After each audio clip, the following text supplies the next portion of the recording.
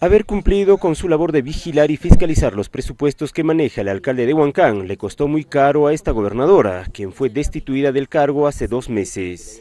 ¿Qué siente el hecho de que le hayan truncado a usted su proyecto? Eh, la verdad, indignación, porque todos mis colegas saben que el trabajo transparente que he llevado a cabo eh, en, en, frente de gobernación y a la vez la población también se sienten indignados por esta institución arbitraria que han realizado.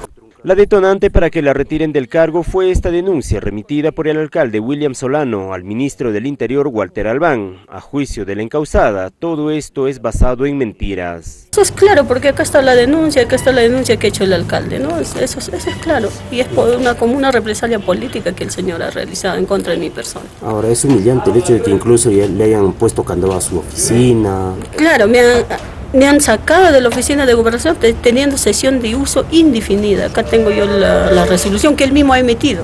Pero no solo fue perseguida y desprestigiada en el mismo despacho del ministro Walter Albán, también fue denunciada por el procurador municipal en la Fiscalía de Prevención del Delito, denuncia que ha quedado archivada. Indignada porque fue retirada de su cargo y su oficina Viva Fuerza evalúa iniciar una acción penal contra quien habría cometido el abuso de autoridad.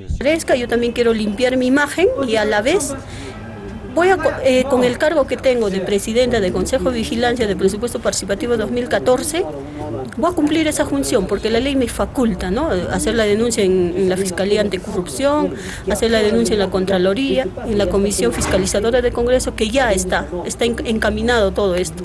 En todo caso, si el que nada debe, nada teme, ¿no? Entonces, si el señor no ha hecho nada, no hay, saldrá pues limpio de esas denuncias. Advirtió que pese a haber sido destituida de su cargo, seguirá denunciando los actos irregulares del polémico alcalde, quien pese a estas anomalías e irregularidades, aspira a una reelección.